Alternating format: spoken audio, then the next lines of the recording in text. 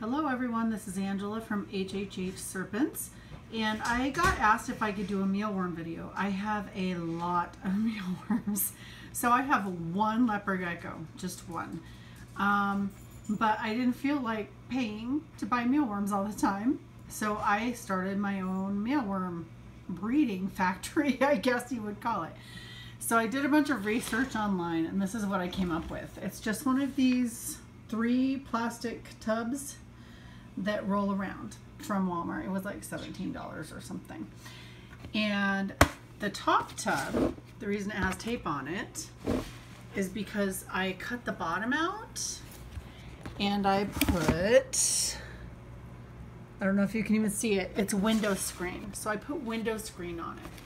And this is where the beetles live. See all the beetles there? They're eating potatoes and fruit and oatmeal and things. Um, the beetles lay eggs and then the beetle eggs or if the eggs stay here the whole time then the little hatchling mealworms will fall through the screen. Um, and they go down to this next one. So this one is my itty bitty baby mealworm one. And the baby mealworms and the eggs really are pretty microscopic. Um, about once every month and a half two months when I notice there's bigger mealworms in this one I will um, clean it out. I will keep all of the tiny bits in here and then I move the mealworms down to the bottom drawer, which is where my large mealworms are. Now, um, the way that I clean it is by shaking it through a, um, a metal like strainer, a kitchen strainer um, with teeny tiny holes in it. So just the microscopic things like the, um, the dust and stuff will fall through it. And then here's my bottom drawer. This is where the adult mealworms are. Um, adult being, you know, just a word I'm using because the adult mealworms really are the beetles. So this is where the mealworms that are big enough for me to see go. Oh, there's a beetle. I've got to move him up to the top. Um, there it goes. Um, so I'll just open this top one and drop them in there. So, uh, so the beetles really are the adults. Looks like there might be another one in here somewhere.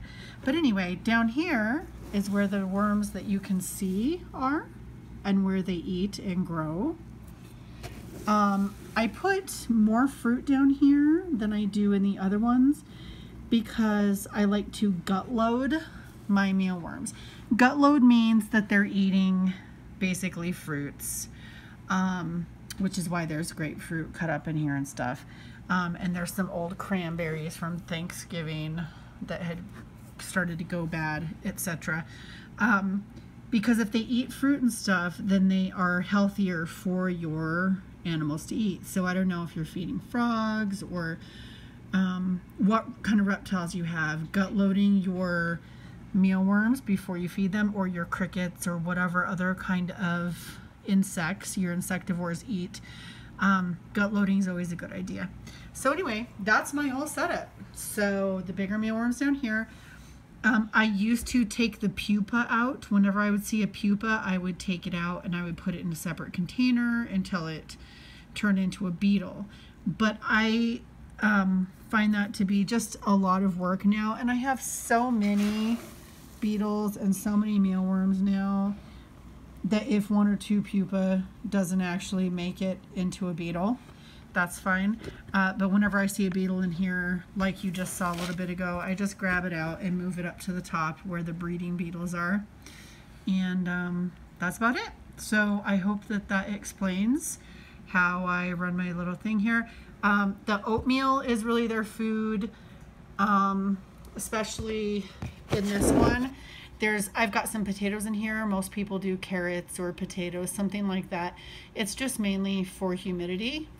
Um, but for the beetles and the ones that I'm going to actually feed to my uh, reptiles, I want to make sure that there's fruits and other things just to make sure that they're getting a little bit of a varied diet. So, all right, thanks very much for watching. Uh, like and subscribe. Bye.